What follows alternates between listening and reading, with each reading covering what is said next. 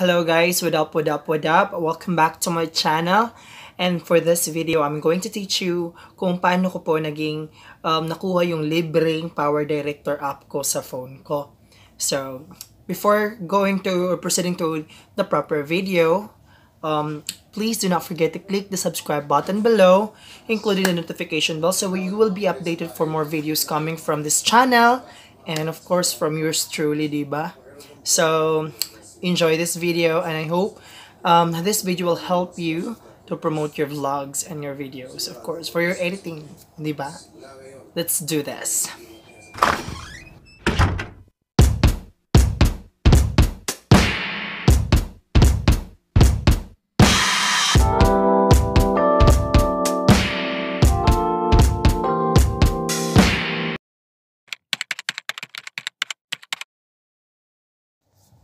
So yun nga guys, sisimulan po natin sa pagsusearch po ng AC Market app or APK app, downloadable yan. So magsisearch na po tayo sa Google the, o Google Chrome natin, di ba?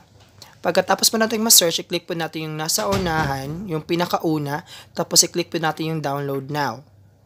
Pagkatapos po natin maklik yung download now, lalabas po yung AC Market APK download na parang may, nagsasabing may warning that can harm your device. Pagkatapos po natin maklik yan, automatic po yan na magda-download. Tapos i-install lang po natin. So, after downloading it, you, you just need to open the app. I-open lang po natin yung app. Tapos, isa-set up natin. You're just going to allow, allow, and allow. So, tapos natin mag-set up, i-search po natin yung Power Director. Tsaka, i-click po natin yung Power Director at i-check po na MOD unlock po talaga siya. So, ang importante lang po nating i-check is yung may MOD unlock lang talaga.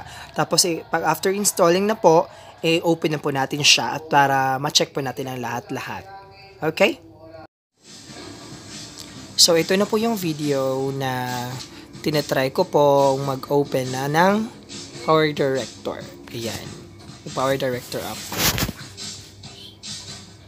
So yan po, nakikita po natin nag-loading na po yung Power Director na na-download ko from AC Market wala na po siyang watermark. Galing pa lang po ako nag-edit ng video ko. O, tingnan nyo. Wala na po siyang watermark. And, lahat-lahat po ay free na. Hindi ka na kailangan magbayad. Naka-unlock na lahat. Pati yung clip arts, ida-download mo na lang yung iba. Sound clips, ganun. Lahat-lahat.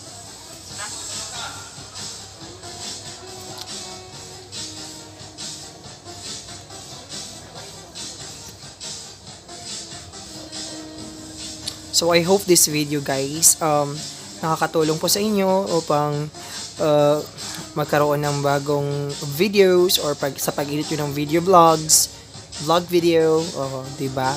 Ganon. So therefore, um, I hope I can give, uh, I can receive a subscribe from you guys or a comment from you guys or any suggestion for my next videos. So thank you again. Do not forget to click the subscribe button. I love you guys. So, ayun na nga guys. Thank you for watching. Thank you so much. And sa lahat po ng mga bago, at uh, I hope this videos ay nakakatulong sa inyo sa mga pag-edit nyo ng mga videos. So, ayan na po. This is Bonjets again, the Pastor Vlogger signing off. Do not forget to click the subscribe button. See you in my next vlog.